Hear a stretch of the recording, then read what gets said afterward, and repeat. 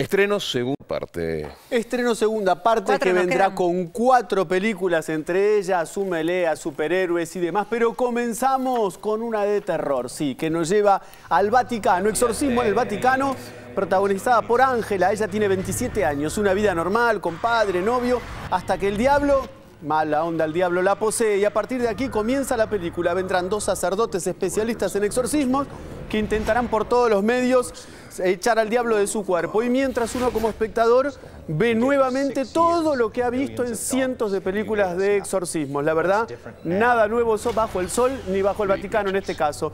Nos vamos a los cuatro fantásticos. El público se renueva y las sagas de cómics también.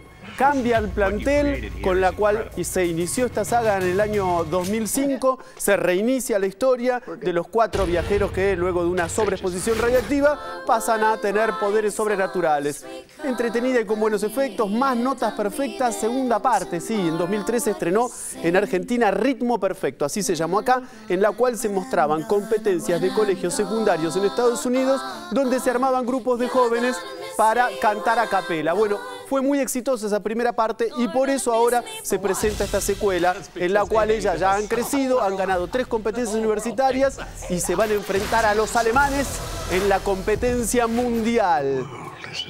Más o menos. Un nuevo despertar, película protagonizada por Al Pacino. Si no recuerdo mal, es el tercer estreno de una película de Al Pacino en lo que va del 2015. Las está sacando una tras de otra. Y aquí es casi referencial la película. Él interpreta a un actor, Simon Axler, que con 67 años se enfrenta a todo tipo de crisis. Crisis profesional, no está confiando en él como actor, cree haber perdido el talento y se empieza a olvidar de las letras.